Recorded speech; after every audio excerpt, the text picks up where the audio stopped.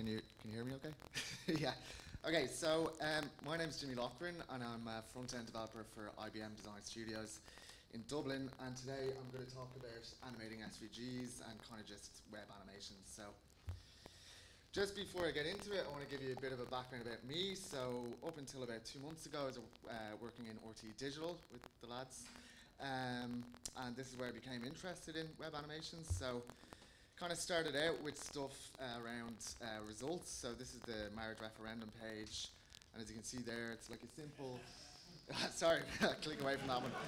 Uh, it's a simple, um, it's a simple Angular app, and it basically just animates uh, inline CSS. So it's pretty, pretty simple but effective. Uh, and as I progressed, uh, I started working more with journalists um, to do stuff with D3. So kind of just storytelling using data, and this was all fed in using CSV files and stuff. Uh, so why use motion? Um, I mean, it, it draws attention to changes on the page. It kind of aids in understanding, and then there's fun and whimsy. Uh, so, like with a lot of things in life, and this is kind of my mantra, is just because you can doesn't mean you should. So, especially with animations, you kind of have to use, you kind of have to self-edit, you have to curate, you have to use tact, and everything has to have a bit of an intention. So uh, here's some nice tools that I picked up, but there's tons. So I talked about D3, Snap, that's kind of like the um, jQuery of SVGs, or SMIL, or SMILE, or whatever you want to call it, and that's uh, a native specification for SVGs, but it's not really supported on anything but WebKit. Uh, GSAP, GreenSock, which is quite powerful, and you can do lots of cinematic stuff. Mo is new. Um, but I'm going to be talking about micro interactions. So uh, generally, like, or more specifically, talking about like icons, morphing one icon into another. And I mean, this is kind of for most people synonymous with material design. They really popular, popularized this sort of micro interaction. So I've chosen two appropriate tools for this uh, this presentation: segments and CSS. So demo time, I'm going to do two, uh, three really rapid fire uh, demonstrations. Uh, the first one is with JavaScript. So I've chosen this uh, JavaScript class called segment. It's only 2 KB.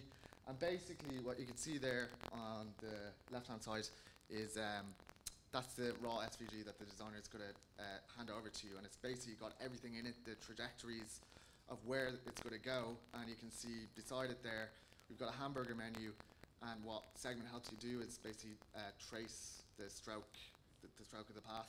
So I'll just show you here what you can do. And here's segments websites, so you can see you can start at uh, start position in pixels or percentages or a combination. You can do different durations. You can choose different easing, stuff like that. And where it comes in really handy and it's really nice is like chaining uh, animations using uh, callbacks. So this is like one animation, but then you make it succeed and you know change that.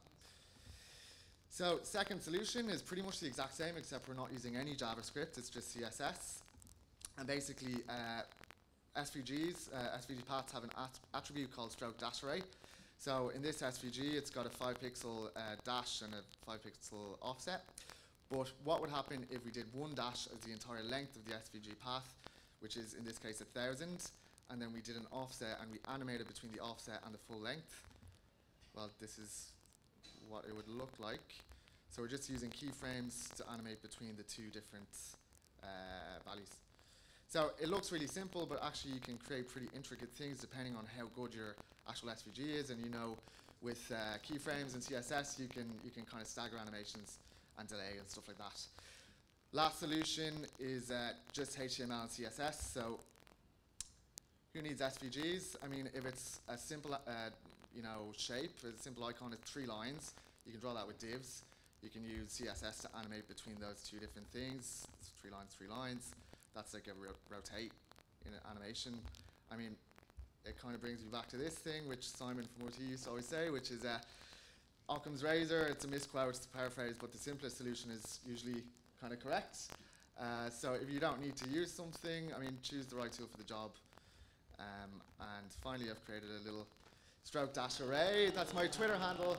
And if you want to see the slides, just go to my Twitter and uh, you can you can get the deck and there's links and stuff and leave comments. So yeah, that's me.